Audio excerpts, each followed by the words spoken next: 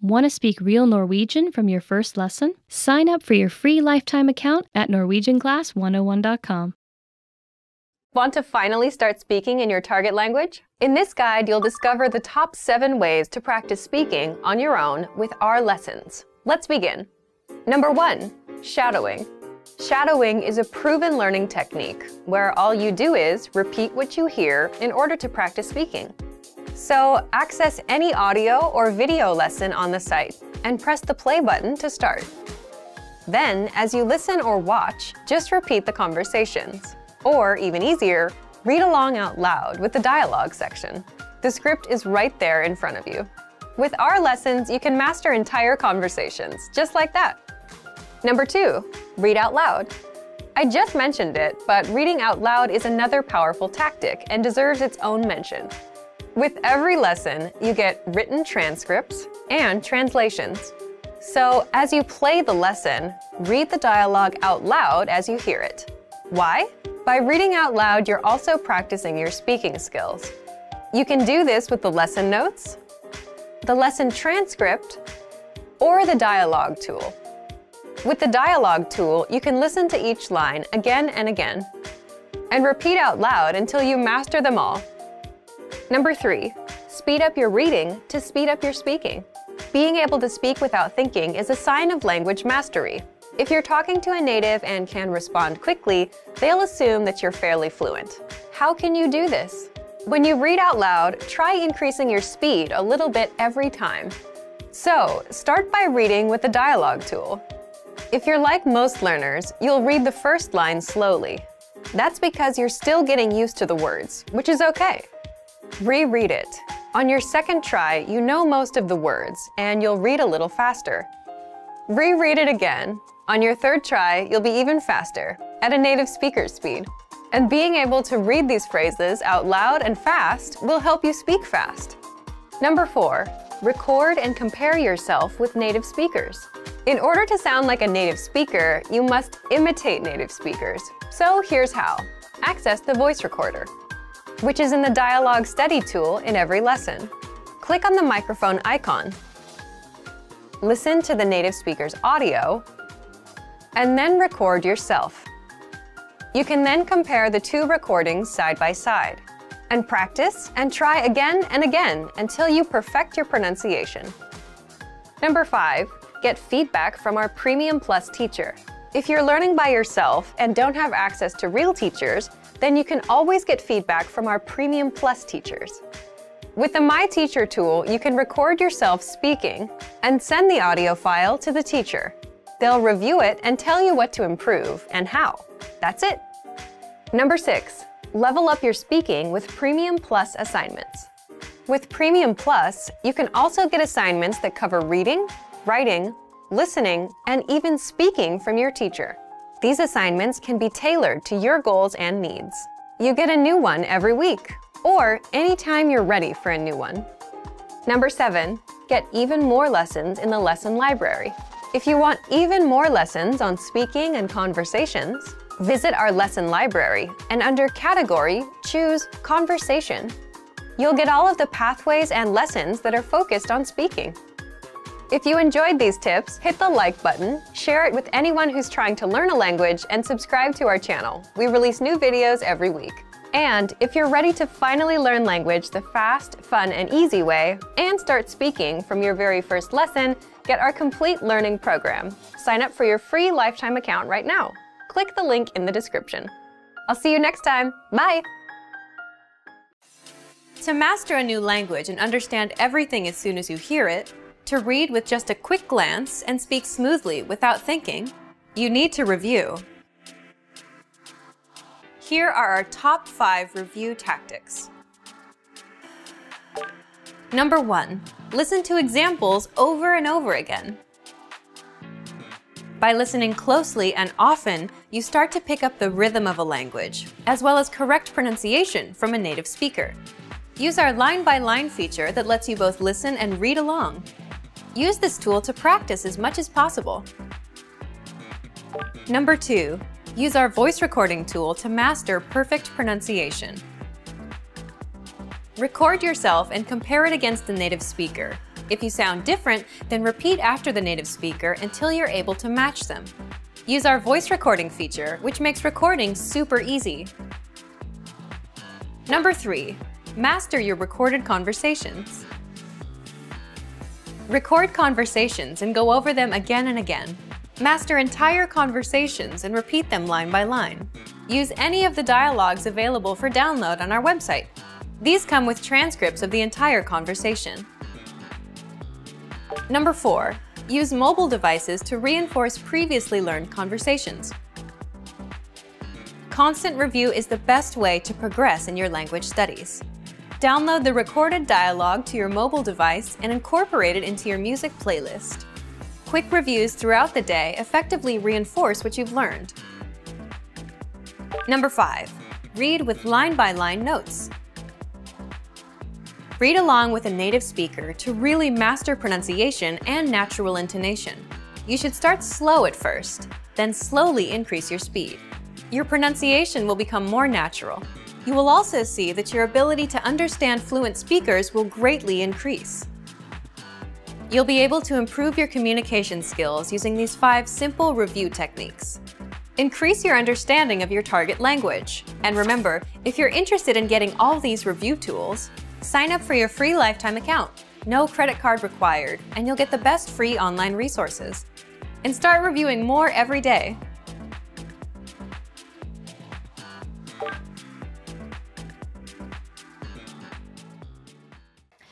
Hi everybody, Annette here. Welcome to Ask a Teacher, where I'll answer some of your most common Norwegian questions. The question for this lesson is, how do I know which gender a noun is? A lot of people aren't sure how to tell which gender a noun is. Unfortunately, there are no rules to learn what gender the noun is without the article. So many people learn the nouns and articles together. Norwegian nouns are divided into three genders, masculine, feminine, and neuter. Let's go over each gender. First up, masculine nouns. Masculine nouns have the article en, which means a or an. Let's take the noun gutt, meaning boy, for example. En gutt, meaning a boy, is a singular indefinite noun. To make it a singular definite noun, you add the suffix en to gutt. Then you get gutten, meaning the boy. For the plural indefinite noun, you add er and you get gutter, meaning boys. Finally, for the plural definite noun, you add ene and you get guttene, meaning the boys. Let's look at another example. Using the same order, En bil, bilen, biler, bilene. A car, the car, cars, the cars. Next, feminine nouns. Here, you use the article ei, meaning a or n, for feminine nouns. Let's use the word dør, meaning door, as an example. For the singular indefinite form, you add the article ei. So, ei dør means a door. For the singular definite form, you add the suffix a after dør. Then you get døra, meaning the door. In the plural indefinite form, you add er and get dører, meaning doors. Finally, in the plural definite form, you add ene and get dørene, meaning the doors. Not so bad, right? It's very similar to the conjugation of masculine nouns. Here's one more example. Ei bok, boka, bøker, bøkene. A book, the book, books, the books. Last, we have neuter nouns. Neuter nouns have the article et. Let's take the noun hus, meaning house. In the singular indefinite form, you just add et and get et hus, meaning a house. In the singular definite form, you add the suffix et and get huset, meaning the house.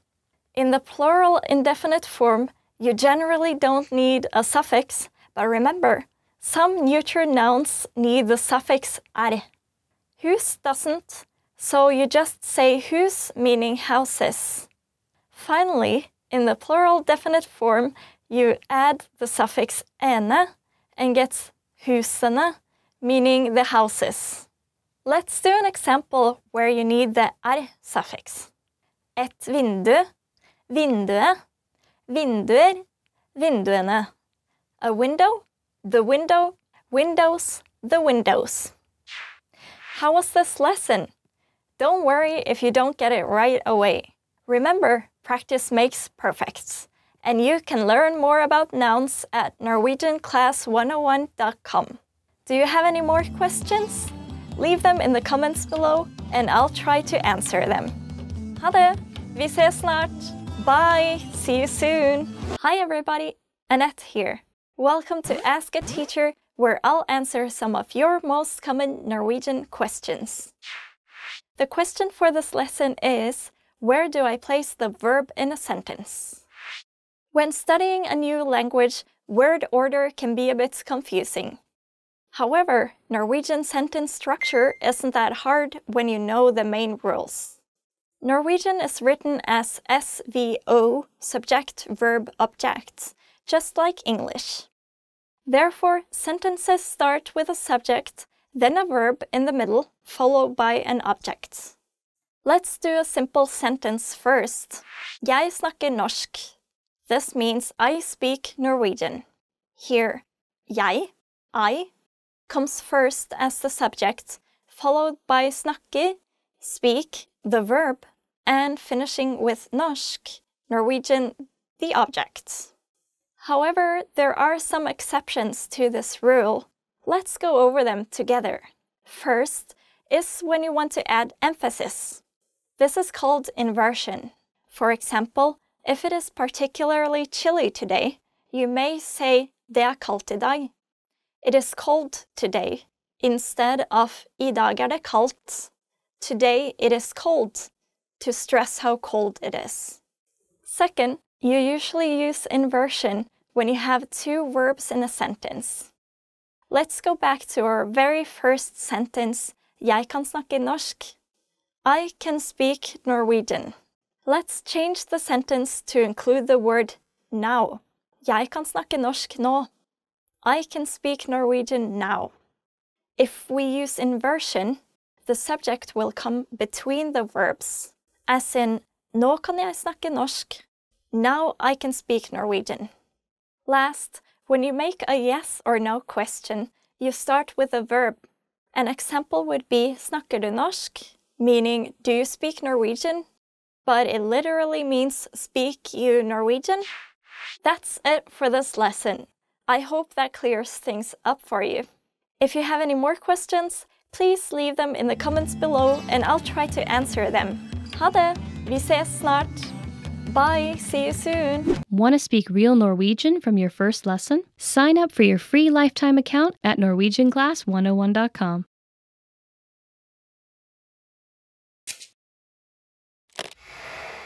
Hi everybody, Annette here.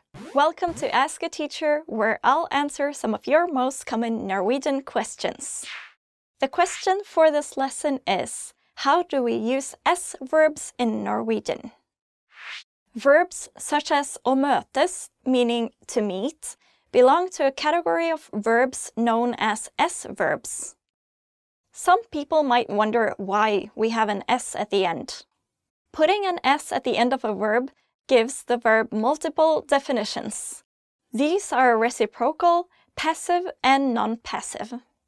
Let's do some examples so you can learn how to use S-verbs like å correctly.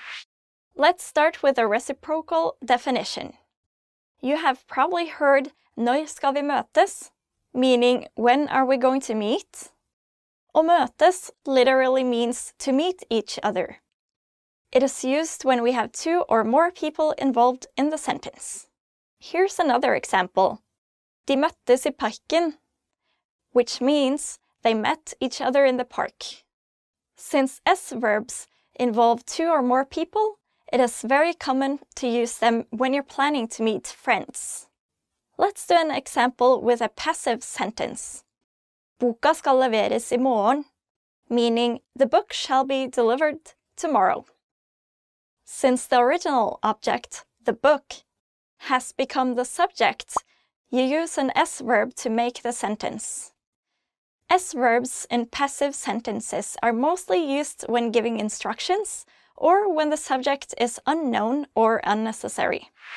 Last, let's go over some non-passive S verbs. These are used for feelings, emotions, and thoughts. For example, det føles rart å være hjemme igjen, which means it feels strange to be home again. Or jeg er helt sikker på at det finnes liv på andre planeter, meaning I'm sure that life on other planets exists. And that's it for this lesson. I hope it helped. If you have any more questions, please leave them in the comments below and I'll try to answer them. Ha det! Vi ses senere! Bye! See you later! Hi everybody! Annette here. Welcome to Ask a Teacher where I'll answer some of your most common Norwegian questions. The question for this lesson is when do I use the possessive pronoun sin? The Norwegian possessive pronoun system is a bit complicated, and it can be difficult to know when you should use sin instead of the possessive pronouns hans, meaning his, hennes, meaning hers, or deres, meaning theirs. Sin translates as his, hers, its, and theirs, so it's easy to get confused. Sin is the reflexive form of hans or hennes and deres. Sin is used for something that is one's own. In other words, when the subject owns the object. Let's have a look at an example. Ola vasker bilen sin. This literally means Ola washes his own car. If you change sin to hans meaning his, the meaning of the sentence changes. For instance, Ola vasker bilen hans means Ola washes his car. This means that Ola is washing someone else's car, not his own. Let's have a look at two more examples. Han glemte sekken sin, literally meaning he forgot his own backpack. Here, the backpack that was lost belongs to the subject, so we need to use sin. In this sentence, han glemte sekken hans, or he forgot his backpack, it means he forgot someone else's backpack. Sin also conjugates in the gender and the plural of the noun. Sin is used for the masculine singular form, si is for the feminine singular form, sitt is for the neutral singular form, and sine for the plural form. Let's see some examples with the conjugated forms of sin. Hun mistet sekken sin. She lost her own backpack. Sekk, meaning backpack, is a masculine noun. Therefore you use sin. Han mistet boka si. He lost his own book. Bok, meaning book, is feminine, so you have to use si. Han ryddet huset sitt. He tidied his own house. Hus meaning house is a neuter noun, so you use sitt. And last, hun skal støvsuge alle teppene sine, meaning she's going to vacuum all her own carpets. Teppe, meaning carpet, is in the plural form, so you use sine. Before we close up this lesson, it's important to know that you can only use sin, si, sitt, and sine with objects. You cannot use sin, si, sitt, and sine with subjects. Here's an example. Sekken hans er gammel, meaning his backpack is old. In this sentence, the noun sekk, meaning backpack, is the subject, so you can't use sin. And han glemte sekken sin, he forgot his backpack. In this case, the backpack is the object, so you use sin. And that's it for this lesson. I hope I helped clear things up for you. If you have any more questions, please leave them in the comments below and I'll try to answer them. Ha det! Vi ses snart! Bye! See you soon! Hi everybody! Annette here. Welcome to Ask a Teacher where I'll answer some of your most common Norwegian questions. The question for this lesson is, why do I need to use reflexive pronouns with certain verbs? Let's start with a more specific question. Why do I need meg in jeg vasker meg? My meaning myself is a reflexive pronoun and it can be difficult to know whether you need it after the verb or not because you may not need it in English. You use a reflexive pronoun when you perform an action upon yourself. In other words, when the subject performs an action on the object.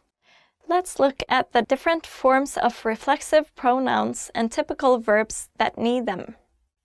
Let's start with the example from the question. Jeg vasker meg. This means I wash myself. You need meg, meaning myself, to explain that you are washing your own body. If you write the sentence without meg, it will mean that you just wash something. Let's move on to the next example. Du kler på meaning you dress yourself. Here, deg is the reflexive pronoun, and kle på needs a reflexive pronoun to show that you're dressing yourself and not anybody else. Here are some other examples. Hun literally mean she combed herself. In this example, you don't need hår, meaning hair, because the verb å gre, meaning to comb, makes it obvious that we're talking about combing hair. Another example would be vi forlovet oss. Literally, we engaged ourselves. Dere bestemte dere for å kjøpe et hus. Literally means you decided yourselves to buy a house. And last, de giftet seg i fjor literally means they married themselves last year. Okay, I hope that helped answer your question. If you have any more questions, please leave them in the comments below and I'll try to answer them. Ha det! Vi ses senere! Bye! See you later!